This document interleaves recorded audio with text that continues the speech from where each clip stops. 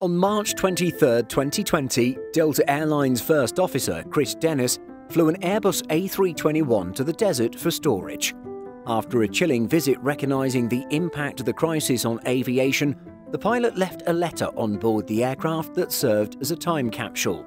Now, as that aircraft comes back to service, it represents the light at the end of the tunnel and the return of air travel across the United States after one of the worst years in memory for airlines.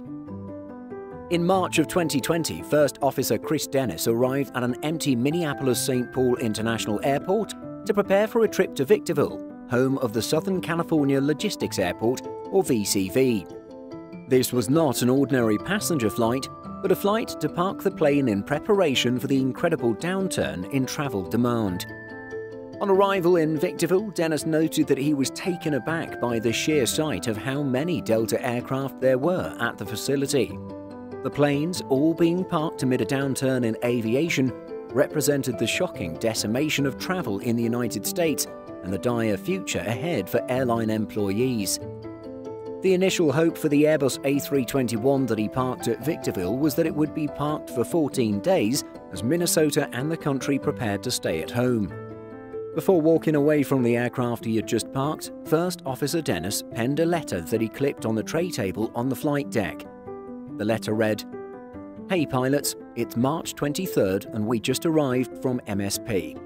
Very chilling to see so much of our fleet here in the desert. If you're here to pick it up, then the light must be at the end of the tunnel. Amazing how fast it changed.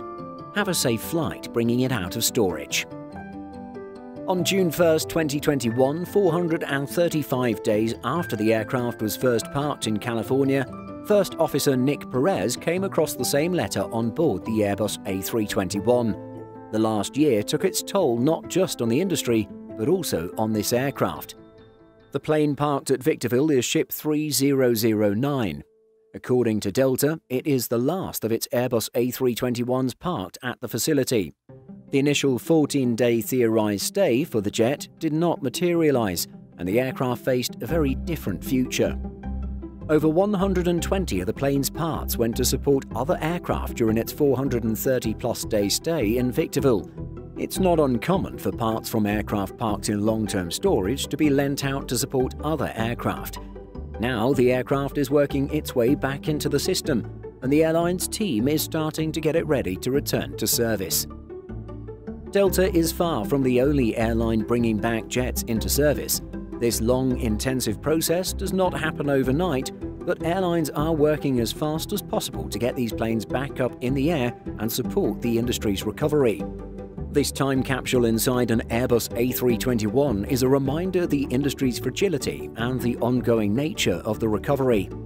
It'll take time for the industry to get back to pre pandemic levels, but a sustained recovery continues, airlines are now seeing the value of bringing back all or nearly all of their jets to service.